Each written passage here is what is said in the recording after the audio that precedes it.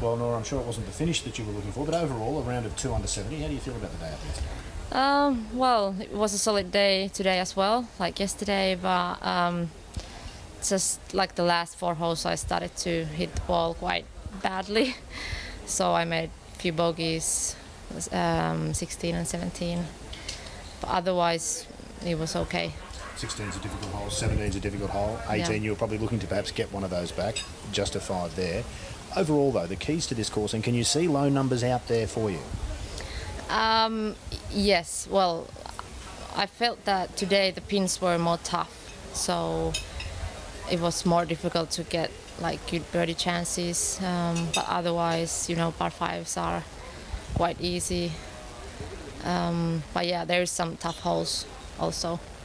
At this stage, you're in second place. Ayean Cho's at 13 under. She had 8 under today. We know that she's a good player, but you'll be out in the late groups, certainly on Saturday, probably on Sunday as well. I imagine that's where you want to be.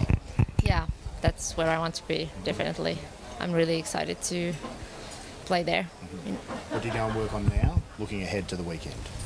Uh, well, I need to work on my putting. Um, my putting didn't feel that good today than yesterday, and also need to hit few irons.